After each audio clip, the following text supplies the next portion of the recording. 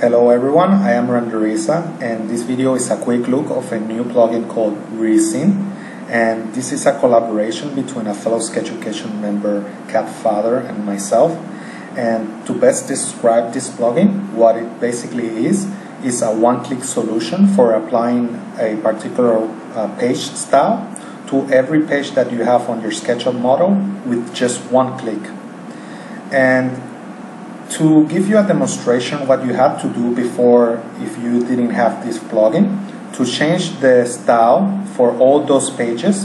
What you have to do before is to go to the style window select the new style that you want to choose. Now go to the tab right click it and click update.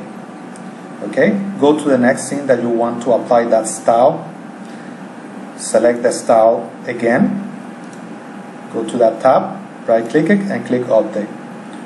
Or you can go to the next uh, scene select the style again go to the scene window and that will provide you with a button that has an update button over there. And as you can see this is particularly tedious if you have a lot of pages. That will take you time to go through each one of them and apply that new style. Now this plugin you can access by when you install it it will provide you with a set of buttons on the toolbar. And the first one will pop up this uh, web dialog. And let's do this uh, same action but with the plugin instead okay?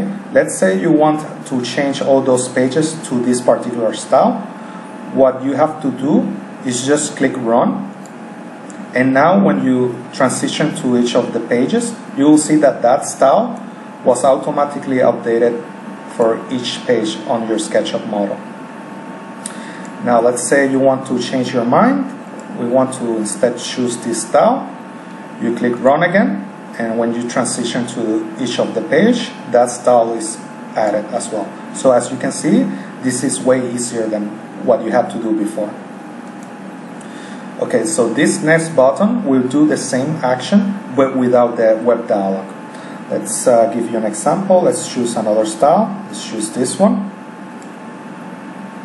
Now when we click this uh, next button, it will update all the pages without the web dialog. Okay?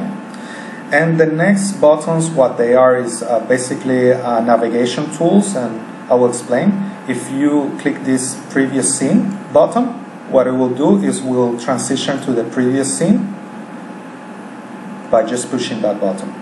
The next one will do the same, but uh, this time it will go to the right. Okay? The next button, what it is, it will basically allow you to delete the current page that you are on.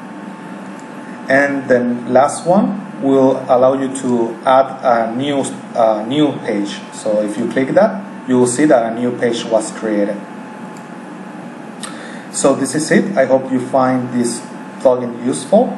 And again, uh, thanks to CadFather for coming up with this idea.